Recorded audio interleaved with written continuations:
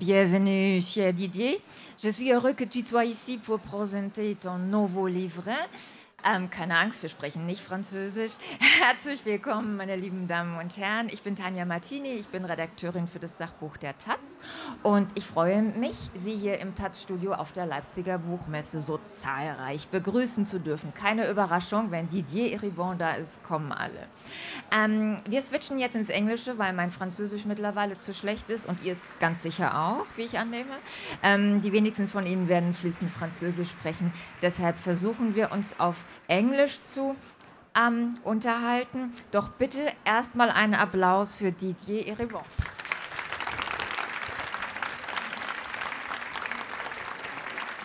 Didier, tu, tu, ne parles toujours pas allemand, même si tu es souvent en Allemagne. Hein?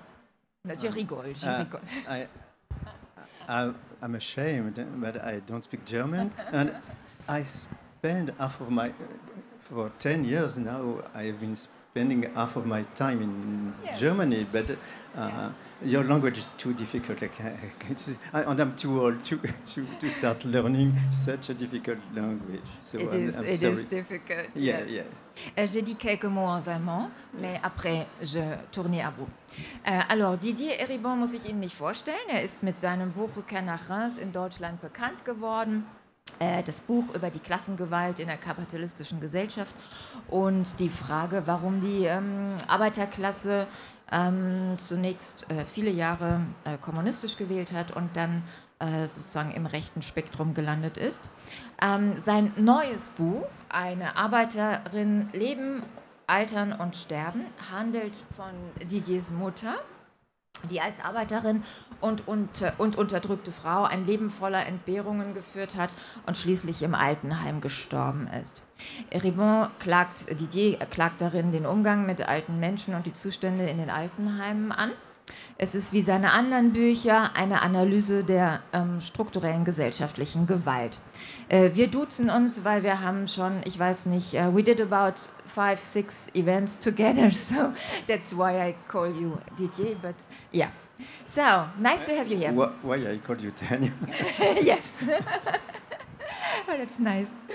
Didier, your mother died at the age of 87, seven weeks after you delivered her to the old people's home. In Return to Reims, you describe how you didn't want to be your parents' son because, on the one hand, um, there was your class shame, and on the other, because of their racism and homophobia. But now you have presented a largely tender, largement tendre book about your mother. When and why did you return to her and get involved with her again? Uh, you know, I left my family when I was 20 years old, and I left France to go to live uh, in Paris. And um, then, when my father died, uh, decades afterwards, um, I, I got back to Reims to see my mother. And um, it was the beginning of a new uh, relation uh, with her. Uh, not an easy one, because uh, when you return to what you left, you you are reminded of the reasons why you wanted to leave. And uh, for example, my mother's uh, uh, racism, which was for me something uh, unbearable. And uh, it was impossible to have a discussion with her without uh, um, hearing her um, um, slur, uh, insults against uh, migrants, black people, um, Arabs, and so. And it was a, kind of obsession in in um, daily daily talks. And so a tender relation, tender return to Reims? Yes, but I, um, I was asked in, in in, in France, how would, would you describe the, the, the feeling you had for your mother? Uh, and I don't, I, I don't know what, what, which name I, I can use, which word, which word I can use to describe this. It's not love, it's not tenderness, it's maybe compassion for that uh, uh, aging woman, um, unable to walk and uh, isolated in an apartment. And so it's compassion and also gratitude because if I left Reims when I was 20 years old, it's because I went to the university, and if I went to the university, it's because uh, thanks to my mother, who was working in a, in a factory, uh, eight uh, hours uh, uh, long every day, in order to allow me to go to an amphitheater to listen someone uh, talking about Plato or Aristotle. And, and when I, I, I realized that, I, I, I, I have to, to, be, to be grateful to her. And so the gratitude would be the, the, the best uh, word to describe this, this feeling.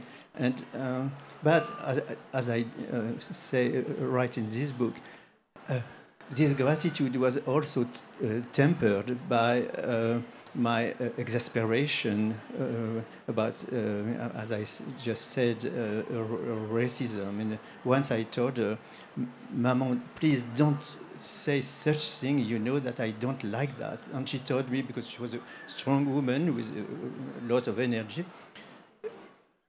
I'm at home, it's my home here. You will not tell me what I have to say, what I can say or not. If you don't like it, it uh, uh, I say what I, you will not uh, tell me orders, uh, give me orders. And uh, so I say what I, I, want to say. And I was wondering what I am doing here. And uh, with someone I would not even say hello to, had she not been my mother.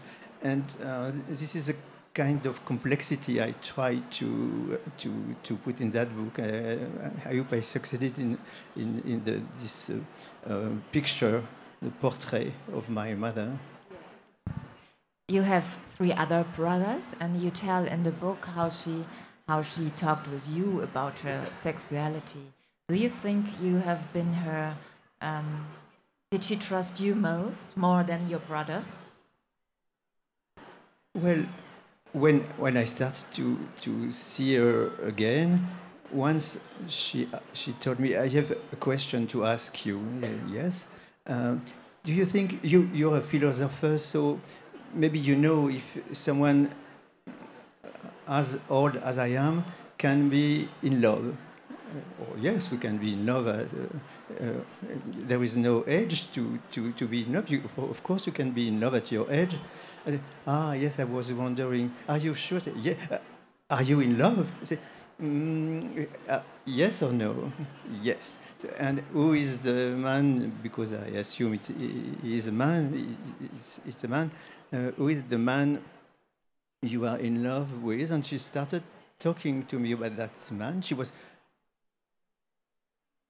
crazy about him. Uh, it, it, she, she, was, uh, she, she was obsessed by him. And she was more than 80 years old, and she has been unhappy with my father uh, during all her life. Um, she married my father when she was uh, uh, 20, um, and she, my father died when she was, uh, um, I would say, uh, 70. She, she, she, had been uh, 75. She has been living with someone she did hate during 55 years.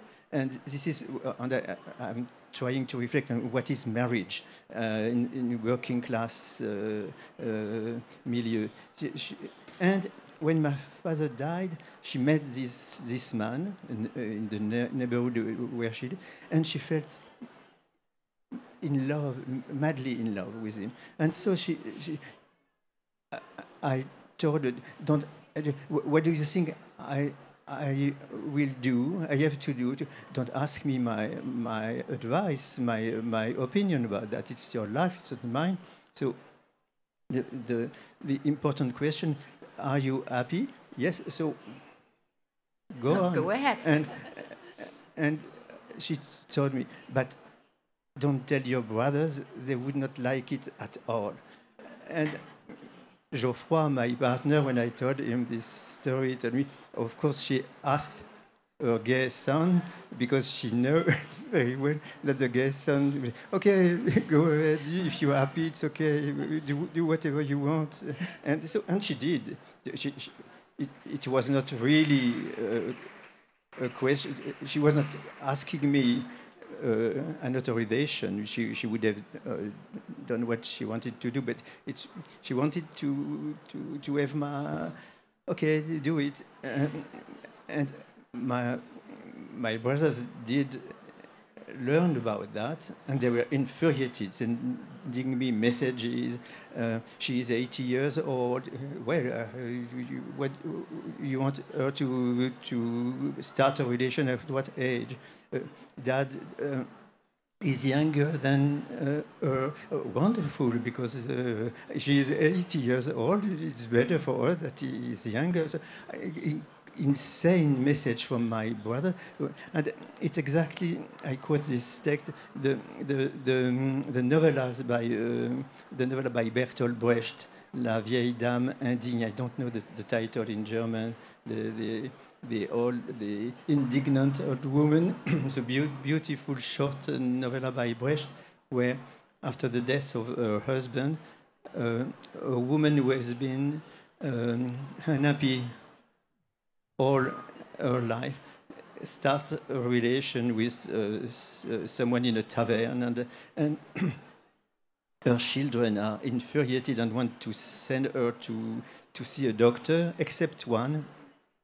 Who said oh she is happy uh, let, let, let her live the life the life she wants to live. So it's it, it, it was for me something wonderful to tell because um, a woman can can feel when my father died I, I must say she would not have said that uh, in that word but it's uh, what she felt she felt liberated.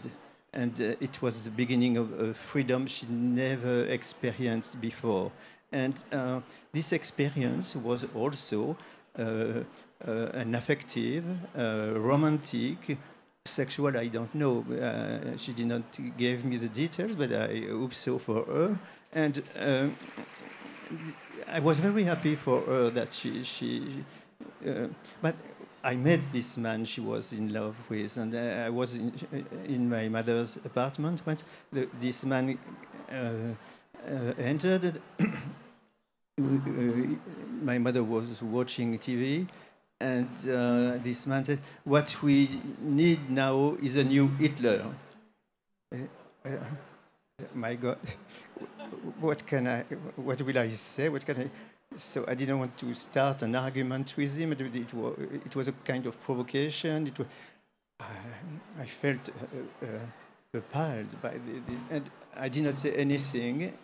And uh, but I was very happy that my mother had a love affair. But I was disgusted by the, the, the What kind the, of the- man the, the man with, with whom she had this love affair. So all, all the, once, once again, um, the, things are not white and black. Things, things are very complicated. Situations are complicated. And for me, it was very, very complicated to, to say hello again to this man who, who, who votes for the National Front, who is a fascist, who is, uh, he, was, he, was a, he was a worker, he was a communist worker, and, uh, and this is exactly what I described in Retour à Reims. Wait. Um, you also describe um, how you have to bring your mother to the old people's home, and she only lived seven, about seven weeks there, and then she died. Um, she stopped eating, I think. Do you think this was kind of a suicide, and maybe she died because of because she was lovesick? There, there are several reasons.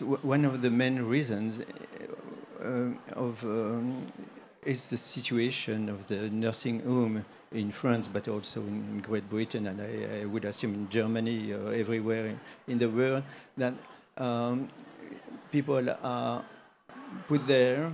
You don't, the society don't see them anymore, don't take care of it. They, they are take, taken care of, but uh, um, the staff is insufficient. My mother was leaving uh, uh, messages on my cell phone saying I'm not happy or it's very uh, the the situation is very harsh and and so uh, I realized that there was uh, something um, which was happening there. I realized it uh, too too late. I, I, I, I, was late in realizing it, and she was unhappy. And when I um, I uh, my mother I'm not allowed to to take a shower. So I called the doctor at the nursing home. My mother told me, "Oh no, it's not. She is not allowed to. But to take her to the shower, I um, I need to nurse aid, to men, and I don't have staff enough to do that every day. So it's uh, I can do that only once once a week." And for my mother, it, it was impossible. And so many examples. So the nursing home are, and um, um, the state is sparing money on nursing home because it costs a lot, of course. Uh, and they are sparing money. And um, the, it's the dismantlement of the public sector by uh, the neoliberal agenda. Uh, we have it in France, thanks to Mr. Macron. We have it in, you have it in Germany, thanks to Mr. Schröder and, and, and the, the, the, all the ones who, who came after, after him, including, including Olaf Scholz, who said that one of his references is uh, Retour à Reims. I'm afraid he did not read it uh, too, too carefully enough uh, because he should have uh, uh, pay attention to what I, I, wrote about this, the kind of policy is uh, enforcing now.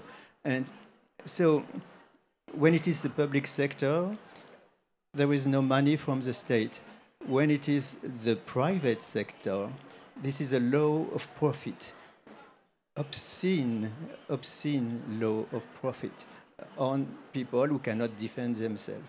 And the question I was, uh, it's a political question. Messages from my mother on my cell phone were political messages. I'm not happy here. But a protest, a political protest on my cell phone had only one uh, listener, me. And I, uh, the, the last part of my book is I wonder um, if she cannot, she, her protest could not uh, get access to the public sphere, to the political sphere. And the, the, the last part of my book is how can people who are deprived of the right to speak, or the, the very possibility to speak, to protest, how can they, they have their voice heard in the public sphere. And the only way is that there are some people who uh, uh, take the role of the spokesperson to make the voice of these people deprived of the right to speak uh, heard in the public sphere. Simone de Beauvoir did that wonderfully in her book uh, uh, in 1970, uh, um, uh, Old Age, La Vieillesse in France. And I, I, I wanted to, to take the, the, the, the uh, le relais, I don't to prendre le relais. De, to, the relation? No, to, um, to, to, to keep on uh, uh, the, the gesture that Simone de Beauvoir tried to, to do yes. in, in, her book and to, to, to do exactly the, the, same, to speak for people who cannot speak. And yeah. uh, so my book is a, an attempt to speak for people, namely the, the, the elderly, uh, who lost their uh, physical and sometimes cognitive autonomy, and to, to have their, to, to in, in order to have their voice heard in uh, the public sphere, political sphere, and as they cannot protest, they cannot mobilize, they cannot go to uh, to a demonstration, they cannot sign a petition. Uh, someone has to do it for them, and Yeah. this is what I, I try to do in my book. Do you, do you think, Didier, that um, after four, 40 years of neoliberalism, uh, everyone takes it for granted that everyone is responsible for their own happiness or unhappiness, isn't it? It's it's amazing, you know. There, there was a, a, a French journalist published a book about um, a nursing home in the suburbs of, of Paris, the very the, one of the richest uh, suburb. And this, um, to to get access to this nursing home, families has, to pay have to pay twelve thousand euros a month. 12,000 euros a month. And this journalist, after one year, uh, an, an investigation uh, during one year, showed how they, they were, um, they suppressed the, the orange juice because it's too expensive. They suppress one cake in the morning, one, there will be only one instead of two, because uh, um, the, the the the the actionar the actionaries of the of the the company want to make money on these uh, elderly people, and this this is so infuriating that, you, that these people cannot uh, uh, uh, fight for their rights, and so um, the. Uh, as you as you put it, it's, it seems obvious that if you if you cannot pay nobody take care of you but even if you can pay if you can pay 12,000 euros a month uh, you can be um, uh, treated in such a bad way that uh, um, there is so here is not only a question of class it's also uh, there is a, a category that we have to to take in account, which is a question of age. Um, the, situ- the situation of my mother in a, a working class uh, area nursing home, and uh, the situation of uh, the nursing home, which is described in this uh, book by a, French journalist I've just mentioned, it's, not the same class, but it's the same age and the same situation. So uh, we have to consider that we have to fight for, without forgetting, of course, of course the question of class, uh, but uh, we have to fight for um, a a category uh, which is not dependent uh, completely on the class background.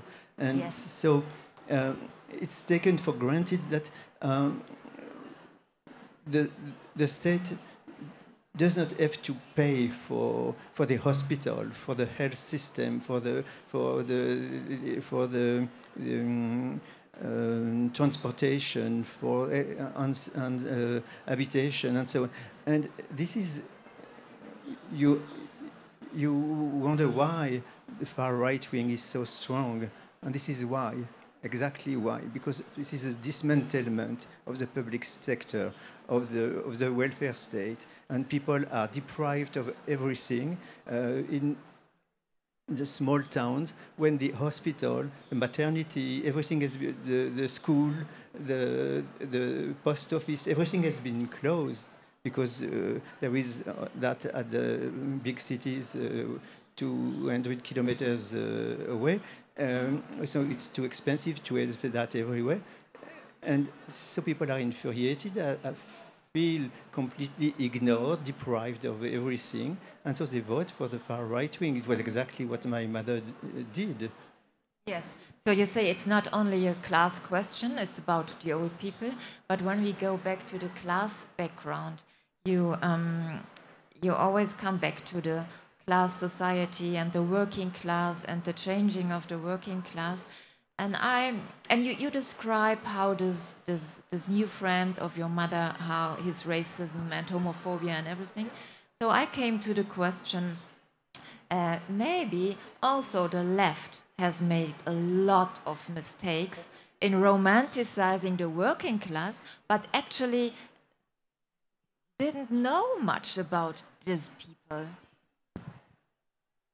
You know, how many working class people with uh, working class extraction are now in the left wing uh, political parties at the at the uh, in at, uh, uh, leaders of these uh, in France? Not that many I don't know here but I, I would assume it's exactly the same. And there was an, an idealization of the working class the wonderful working class, the red flag, and so on. But the reality is, um, uh, you, you have to, to do sociolog- sociological uh, studies and uh, surveys and to, to know who are the people we are dealing. And it's, i i we have to get rid of uh, mythologies. As I said in, uh, in Retour à Reims uh, the, the, the, the wonderful revolutionary uh, working class it's a myth. Uh, and uh, uh, they were left-wing because left-wing parties uh, were defending their interest when political left-wing parties do not defend anymore their interest, they stop voting left-wing and they, they vote right-wing or very often far right-wing. And here we have to, to rethink um, the, the, the very idea of, of a social class, of uh, the very um, uh, idea of a, class society. There is a class divide, in, of course, in our society, in Germany, in France, in Italy, in Greece, in, in Great Britain. And um, the violence of the, this divide is, is, uh, is everywhere. But we, it's not because there is a, a, work, a, a class divide that there is a social class which is mobilized for uh, um, a, left-wing agenda. And as we see now, the, when my mother was a factory worker, she used to work in a factory in which there were 1,700 workers, male and female, 1,700 with a big, big, big trade union, CGT, which was the communist uh, union at that time, and 500 workers were members of this trade union in the factory in which my mother used to work. And 500 members, plus uh, sympathizers, plus other unions, it was a very, very strong force.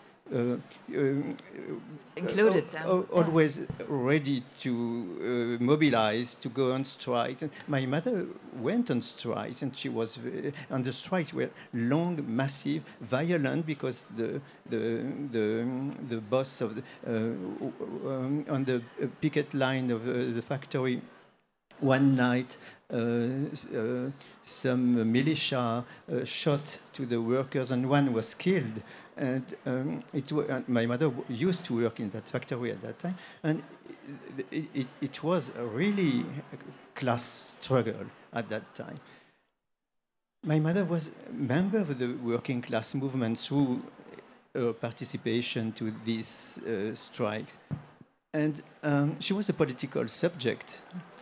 But then the factory closed, and so the workers were uh, disseminated in uh, what did they become?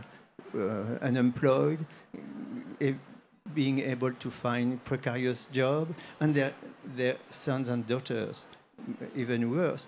And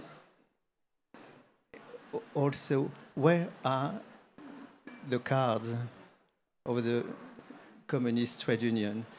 If there is no factory, there is no trade union, there is no member card of the trade union, people are isolated, and so the, the only way to protest um, before they came, they, they, they went on strike, they went to demonstration.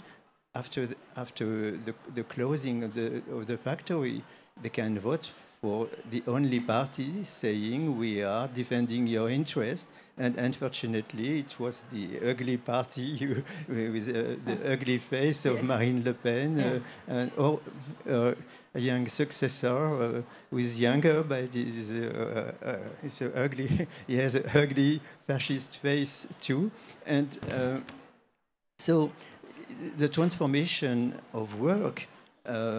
Uh, people don't work anymore in, in huge factories, but in Amazon warehouses where they cannot go on strike, where they cannot uh, g- uh, take a card of a, a union, where the condition of work are, Yeah.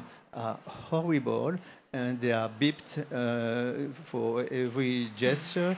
And So there is a working class. It's The- not. We there- cannot think is a- about it in, there- in there is a working industrial terms, but there is a working class. It's only changed. Yeah. There is a working class, not the one we have in mind, Yes, uh, not the the workers of the 1950s, 1960s. Yes. There is a working class, of course. Yes, There is a new working class. That's important, Of, I of course, yeah, yeah, Yeah. You see that in the wonderful movies by Ken Loach, uh, Sorry We Missed You. Or, and when you see that movie, the working class is the woman of the of the couple is uh, um, nurse aide. Uh, um, um, someone who, who go who goes from fa- from uh, house to house to help uh, elderly or disabled people, and uh, a condition. Uh, uh, I don't know the, the word. Uh, uh, uh, I don't know it in English. It's kind of Pflegedienst. uh, aide auxiliaire de vie. Uh, someone who help people to in their daily life. in their daily life. Yeah. yeah. And and the, the man of the couple is um, uh, um, Amazon uh, uh, de- deliver um, working uh, for Amazon and deliver. This is sorry we missed you. Uh, it's uh, it's it's a reference to to Amazon. and you can see how harsh the condition of work are for this new. This is a new working class in Great Britain. There is a working class. Yeah. And of course, they cannot. Uh, they can. uh, the only way to defend their rights is to be the member of a trade union, but they, they, they cannot. And there is a, new working class. There is a working class, but not. A, we have to get rid of our um, wonderful representation, yes. historical, Yes. and uh, the big mani- the big demonstration. Uh, uh, May 68, uh, 10 millions of workers on strike, and uh, it's. Uh, I, I do like that. I, I cherish that, but I, I, have, I have to to to uh, acknowledge that it is uh, the situation has changed, and um, Yeah. it's if we if we don't understand that, for example, we don't understand a m- a movement like the Yellow Vest movement in France, which were composed. It was a co- composite and complex movement. It was composed in part by this kind of people, and they were met by uh, uh, riot police sent by uh, uh, Monsieur Macron uh, with rubber bullets, and uh, Android have been uh, severely mutilated. And so, if you, when people are demonstrating, if you mutilate them instead of listening to them, no wonder that they will vote for the National Front. Yeah, and, and when you wrote, uh, we are at the end already, Oh, so, oh, sorry, but um, yeah. we have to remember when you wrote Retour, uh, Retour à Reims, was uh, 2009, Marine Le Pen was at 12%, and now today she's at over 30, so nothing, nothing, everything got worse in between this time. But one last question, and really, really short, Didier, Yeah, because the, yeah. uh, the, the other authors, authors are standing already there. So, have you felt liberated when your mother died? A really difficult and, and uh, hard question, but was it kind of a liberation for you? Not exactly.